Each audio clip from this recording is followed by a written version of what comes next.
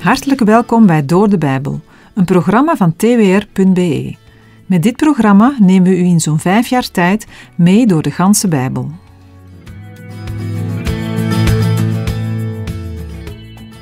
Welkom bij uitzending 1044. We gaan verder met de aankondiging van het oordeel. Omdat de Heere wist dat de Israëlieten zich niet zouden bekeren, deelt hij het oordeel mee dat zal komen.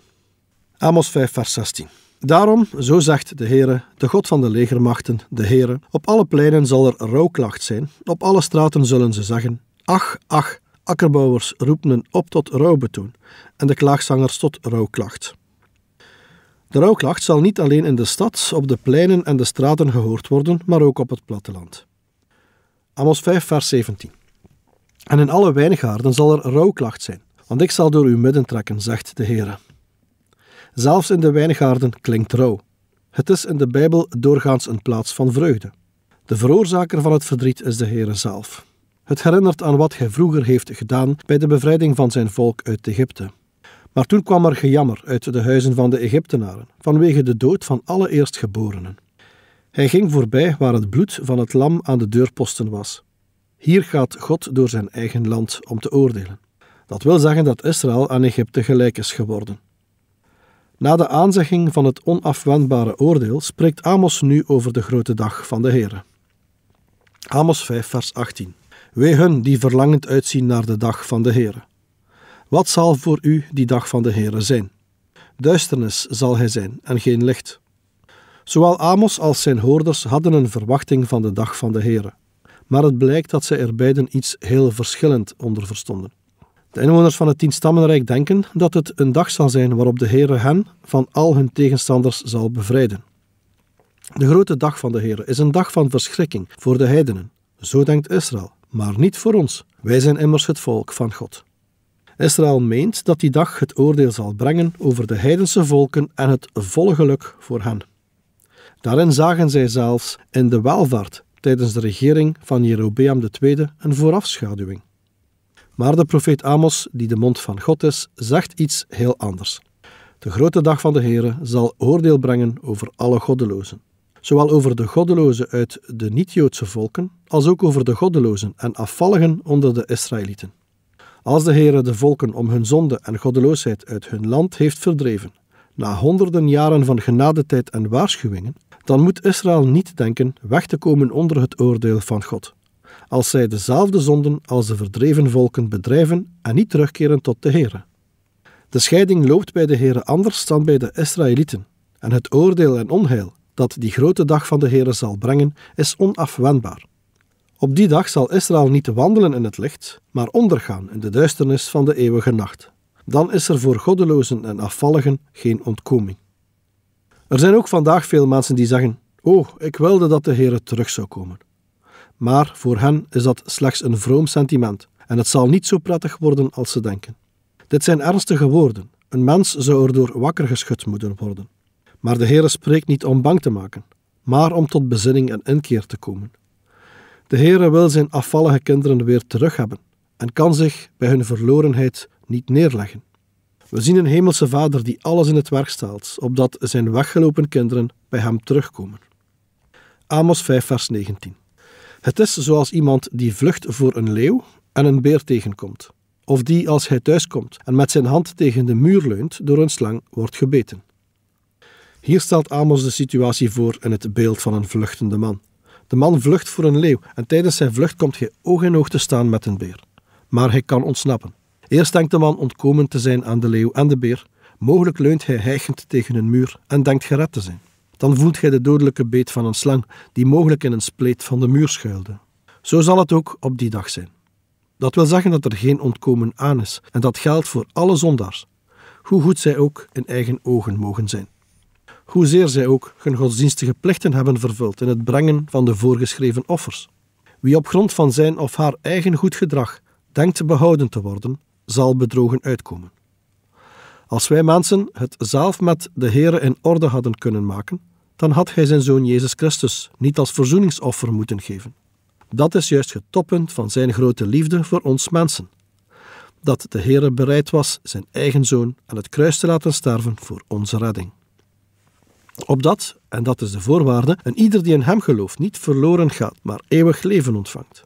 We lezen het op vele plaatsen in de Bijbel, onder andere in Handelingen 4, vers 12. Daar staat: En de zaligheid is in geen ander, want er is onder de hemel geen andere naam onder de mensen gegeven, waardoor wij zalig moeten worden. Zal deze schokkende prediking van de profeet Amos het volk Israël wakker schudden, zodat zij terugkeren naar de Heer? Maar sterker nog, wat doen zo'n woorden vandaag voor ons? In 2 Korinthe 5, versen 17 tot en met 21 lezen we: Daarom, als iemand in Christus is, is hij een nieuwe schepping. Het oude is voorbij gegaan. Zie, alles is nieuw geworden. En dit alles is uit God, die ons met zichzelf verzoend heeft door Jezus Christus en ons de bediening van de verzoening gegeven heeft. God was het namelijk die in Christus de wereld met zichzelf verzoende en aan hen hun overtredingen niet toerekende. En hij heeft het woord van de verzoening in ons gelegd. Wij zijn dan gezanten namens Christus, alsof God zelf door ons smeekt. Namens Christus smeken wij, laat u met God verzoenen. Want hem, die geen zonde gekend heeft, heeft hij voor ons tot zonde gemaakt, opdat wij zouden worden gerechtigheid van God in hem. Amos 5, vers 20. Zal de dag van de Heere niet duisternis zijn en geen licht, donkerte, zonder lichtglans erover? Mocht dat nog niet gebeurd zijn, wil ik je aanmoedigen de Heer Jezus Christus als jouw persoonlijke Heer en Verlosser aan te nemen. Hem te vragen al jouw zonden te vergeven en jou te maken zoals Hij wil. Want, gereinigd door het verzoeningsoffer van Christus en vol van Zijn Heilige Geest, zijn we veilig voor de grote dag en zelfs veilig tegen de aanvallen van de oude slang, de mensenmoordenaar en de grote leugenaar. Maar voor de goddelozen en afvalligen is het vreselijk om te vallen in de handen van de Heere. Voor hen die volharden in hun ongehoorzaamheid aan God, zal de dag van de Heere een donkere en uitzichtloze dag zijn. Amos 5, vers 21. Ik haat, ik versmaad uw feesten. Uw bijzondere samenkomsten kan ik niet luchten. In de versen 21 tot en met 27 laat Amos zien dat Israëls offers en feesten voor de Heere niet aangenaam zijn. Het voldoen aan de godsdienstige verplichtingen gaf Israël een vals vertrouwen. Het is schokkend om te lezen dat de Heere van de verering van zijn naam, de godsdienstige feesten en de plechtige bijeenkomsten van Israël moet zeggen dat hij het haat. Hij vindt het schijnheiligheid. De Heere walgde ervan omdat het niet oprecht was en niet uit het hart kwam. De feesten werden gehouden bij onwettige heiligdommen. Bethel was het godsdienstige centrum van het Tienstammenrijk geworden. Jerobeam I had er een afgodsbeeld geplaatst om het volk ervan te weerhouden naar Jeruzalem te reizen, om daar hun offers te brengen. Maar de Heere had bepaald dat de grote jaarlijkse feesten in Jeruzalem gehouden moesten worden. Toch zien we dat Amos vooral de innerlijke gezindheid van de Israëlieten aanspreekt. De Heere haatte en haat valse erediensten die gehouden worden door mensen die alleen maar doen alsof, of voor de uiterlijke vertoning. Als een mens een zondig leven leidt en godsdienstige gebruiken en tradities in ere houdt, om daarmee van zichzelf een goede indruk achter te laten, zal de Heere deze godsdienstigheid haten en verachten. De Heere wil een oprecht hart. Een concreet voorbeeld hiervan vinden we onder andere in 1 Samuel 15. Daar staat in de versen 22 en 23 het volgende. Maar Samuel zei: Heeft de Heere evenveel behagen in brandoffers en slachtoffers als in het gehoorzamen aan de stem van de Heere? Zie, gehoorzamen is beter dan slachtoffer. Opmerkzaam zijn beter dan het vet van rammen. Want opstandigheid is een zonde van waarzaggerij en tegenstreven is afgoderij en beeldendienst. Omdat u het woord van de Heere verworpen hebt, heeft hij u verworpen, zodat u geen koning meer zult zijn. Amos 5, vers 22. Want al brengt u mij brandoffers en uw graanoffers, ik schep er geen behagen in. En het dankoffer van uw gemest vee, ik wil het niet aanzien. Een brandoffer werd helemaal op het altaar gelegd en door het vuur verteerd. De dankoffers waren eerst zelfstandige offers, maar werden later volgens de wet gebracht als begeleidende offers bij de brandoffers.